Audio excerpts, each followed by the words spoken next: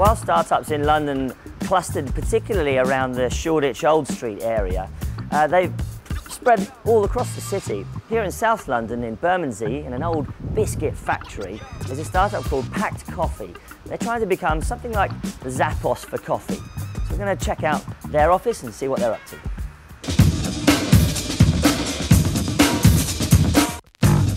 Hey Mike, how how's are it you? going? Nice Thanks to see you. Thanks very much for having us. Hey, pleasure. So This how long have you been here? Uh, Pact. We moved in here about six months ago. So we were in my kitchen until 18 months ago, me by myself. Had a little office over there, a couple, couple of meters away. And Uh, now you're in this amazing space. yeah. Let's have a check out upstairs. Absolutely, yeah. Uh, this was part of an old biscuit factory. Yeah, that's right. It was called Peek Freans, huge um, company in the UK. Yeah. Uh, they invented some famous When, biscuits like when, the were they, Bourbon. when were they around? Uh, they went bust, I think, in the mid 80s. Up top here, there's our community team. So these guys, um, I mean, do the sort of customer service tickets, social media, and so on. You've got this sort of uh, walkway. I mean, Yeah. you could, you could sh- put on a show up here. Yeah, absolutely. Well, we, we organise quite a lot of events here, uh, both for our customers and some sort of uh, industry events as well. Yeah. It's a brilliant space just for, for hosting that kind of thing. Yeah. Um, and this, well, this is uh, your office, is it? Yeah, well, so this is the quiet carriage. Uh, this is the place in the office where people come if uh, they're working on stuff they can't be disturbed. So, strictly speaking, no talking. We'll make an exception for you. Okay, I apologise in advance. tell, me No more, tell me about what's going on up here. Well, so we, um, as a business, we, we sell coffee. Uh, these are the sacks that we imported our first bags of green coffee in. Uh, so these came from uh, all over the world. So it's imported into the country about 70 kilos in each bag. It's imported green, and we roast it over here. What, what's really exciting is we've just started. You know, once, once we hit a certain scale, we could actually go to origin and start importing directly from farmers ourselves. you, want to Uh, go, you want to own the whole thing from end to end? it's not to do with ownership. Uh, We, I think, um, as a business, you, you know that you can. The only way you can know that you're, you're upholding the highest possible ethical standards in sourcing is by doing deals Right. directly yourself. We've got a rule: we won't pay less than 125% the fair trade rate for our coffee. Yeah. Working with a, an importer, you just can't guarantee that because obviously they don't tell you what they're paying. what I like is you've got a little bit of kitchen area here. Yeah, that's You've right. got, so this uh, this is a really important piece of kit. This is Betty. Um, bought her on eBay. Yeah. 400 quid. Betty. And for the first six months of Pact of our life, me and Betty were in my kitchen, uh, grinding coffee, labelling bags by hand. Uh, she she ground the first.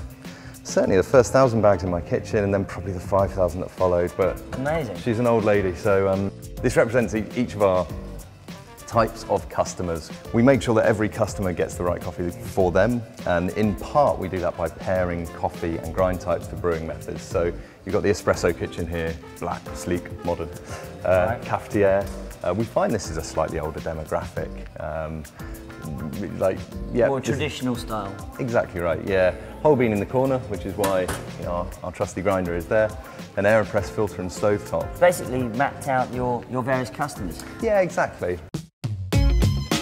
Oh, what's this? This is the most important wall in the office. These are our operating principles.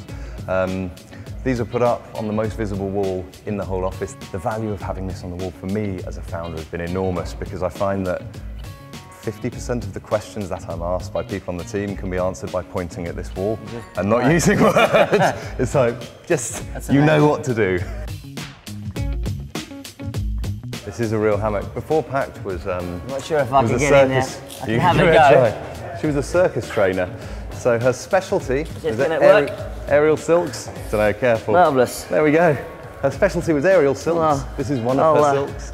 And we set it up as a. Uh, Well, I'll see you in a couple of hours then, thanks.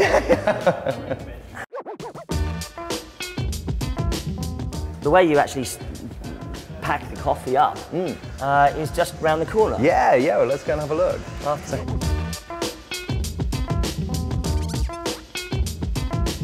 Is the grindhouse. Um, so yeah, follow, I'll, I'll, I'll talk you through a, a bag of coffee. Yeah. A shipment of coffee comes in four times a week. We've got a seven-day freshness rule. We'll never sell a bag of coffee that, that was roasted more than seven days ago. We'll give it away.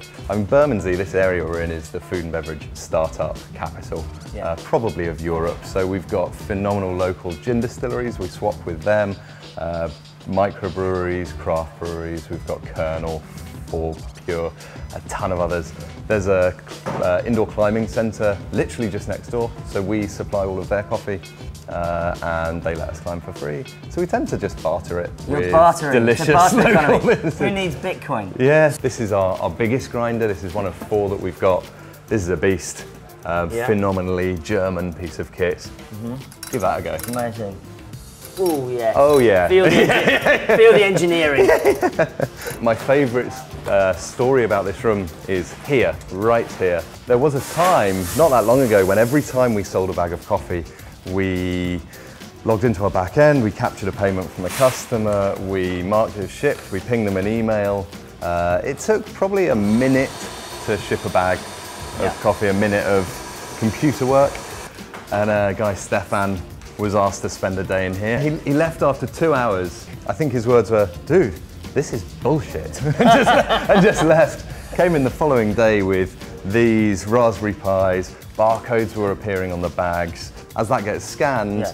we capture payment, email them, queue up their next order, ask them for a review, tell Royal Mail it's coming, we get billed, just everything done. This is all run by on Raspberry Pi. Raspberry Pi. Of course, the mighty, mighty Raspberry Pi. Yeah. Incredible.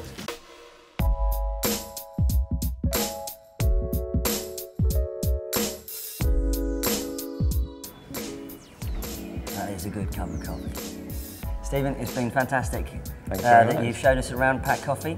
Thank you for coming. Cheers.